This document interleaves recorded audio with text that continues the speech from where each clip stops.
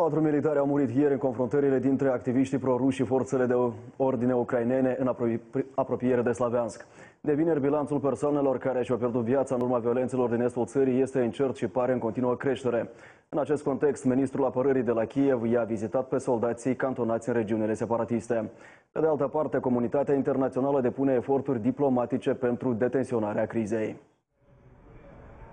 Separatiștii proruși mențin estul și sudul Ucrainei în condițiile unui câmp de luptă cu forțele loiale Kievului. Potrivit ministrului ucrainean de interne, patru militari se numără până acum printre zeciule de persoane ucise în conflictele din zonă. Против нас идет война на нашей территории. Мы связаны по рукам и ногам тем, что вокруг мирное население.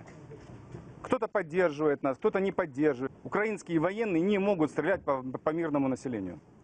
Вот это ограничение, которым активно пользуется враг.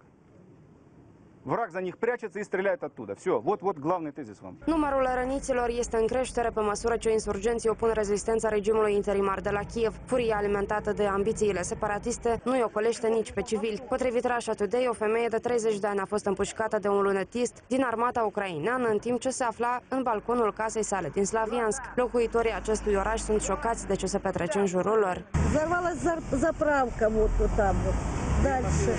Две машины легковых сгорело.